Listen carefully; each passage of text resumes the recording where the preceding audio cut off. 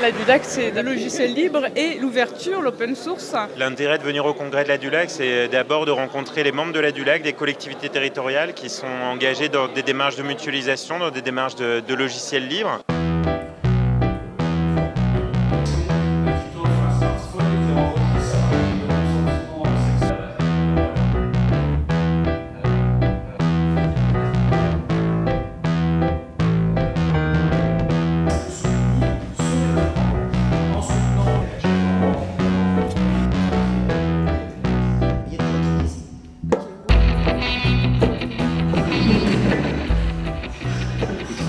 Plusieurs, euh, travailler en mode collaboratif, c'est un élément essentiel de réussite. Ce que j'ai apprécié personnellement, c'est de rencontrer des acteurs de terrain qui travaillent avec du logiciel libre en vrai, dans des conditions pas toujours faciles, et au service du public. J'étais impressionné par tout ce qui se passe dans les collectivités au niveau du logiciel libre.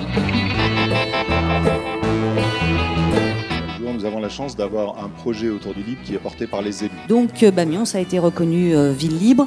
On a fait un gros travail autour du logiciel libre euh, qui nous a valu la reconnaissance du label euh, territoire numérique libre. On passe les postes clients sous Linux. L'information nous appartient et il n'y a que nous qui pouvons décider de ce qu'on en fait. Au niveau infra, le libre euh, est extrêmement utilisé. C'est un vrai travail qu'on fait aujourd'hui avec la Dulac depuis le départ. On est à fond, à fond, à fond dans le logiciel libre depuis longtemps, longtemps, longtemps et on compte le rester encore longtemps.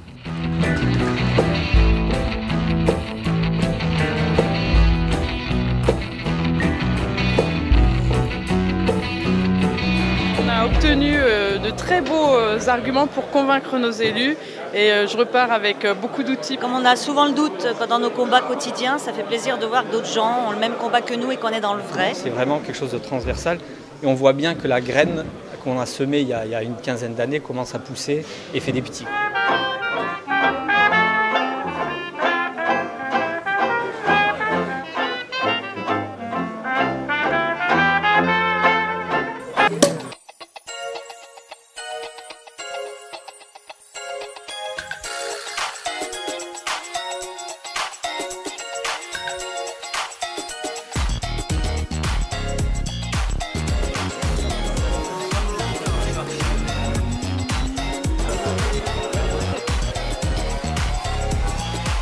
L'important, c'est en fait euh, l'échange, l'échange qu'on peut faire, la mutualisation des idées, des- du partage, des logiciels. Je retiens peut-être le lancement euh, du euh, nouveau label euh, Territoire numérique libre euh, ce matin, auquel euh, la DINSIC participe dans le cadre du, euh, du jury. On sort toujours enrichi de- de- de ce congrès.